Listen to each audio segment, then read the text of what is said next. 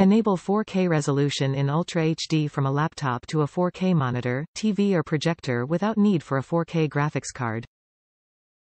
Simple USB 3.0 to HDMI connection. Extend to a second monitor or mirror the screen on your laptop to improve productivity. Plug-play installation. Compatible with Windows 11, 10, 8.1, 7 and macOS. Backwards compatible with 1080p displays. Compatible devices, tablet. Top reviews from the United States. If you have an M1 Mac and a Thunderbolt dock, you need this. Got this when my company issued me an M1 Mac.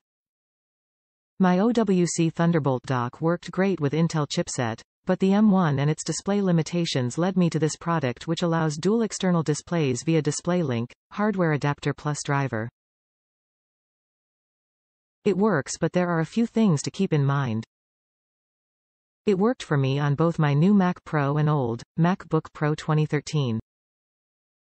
I am using two monitors now.